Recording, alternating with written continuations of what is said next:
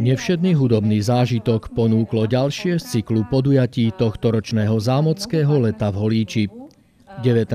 júla sa v areáli zámku uskutočnil koncert Orchestra ruských ľudových nástrojov detskej školy umenia LV Sabinova z mesta Jaroslavl. Návštevníci mali možnosť obdivovať zvuk tradičnej balalajky, ale aj ďalších hudobných nástrojov v podaní mládežníkov z tohto ruského súboru ktorý sa v Holíči predstavil poprvýkrát.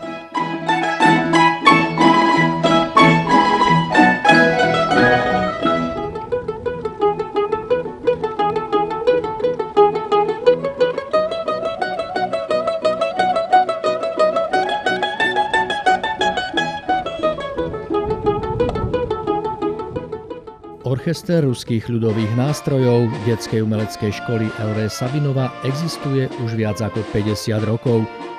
Súbor má viac ako 30 členov a každý rok sa obnovuje, keďže v ňom vystupujú žiaci, absolventi a učitelia Jaroslavskej hudobnej školy. Pod vedením umeleckého vedúceho a dirigenta Pavla Sergejeva členovia orchestru, oblečení v národných krojoch, prednesli tradičné ruské piesne, ale tiež skladby svetových autorov, upravené práve pre orchester ruských ľudových nástrojov.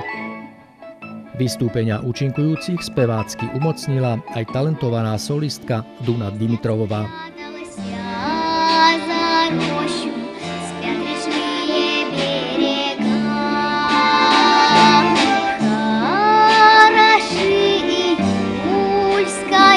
ночью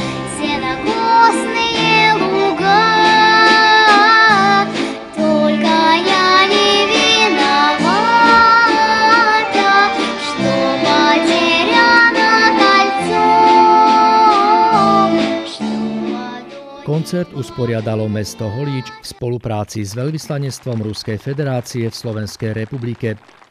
K hosťom podujatia tak patril i zástupca veľvyslanectva, kultúrny ataše Nikita Griščenko s manželkou, ktorý vyjadril poďakovanie za možnosť prezentovať tradičné ruské hudobné umenie aj v Holíči.